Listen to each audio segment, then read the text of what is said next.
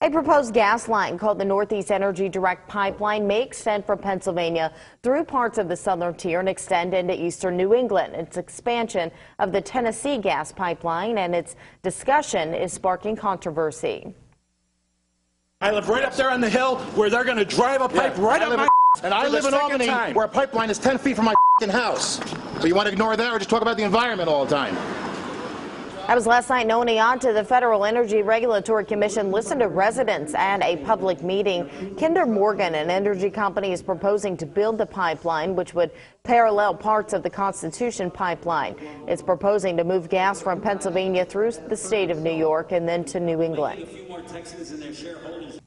Economic development, which this area has very little. Instead of embracing economic development, they want to they want to push it out of the room, and they want to talk about fracking and issues from the 1980s. Not happy about it.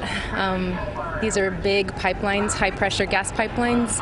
Um, if one were to explode and the other were, if one were to explode, it would be, would be terrible. Nothing has been approved. This is just the early stages of development.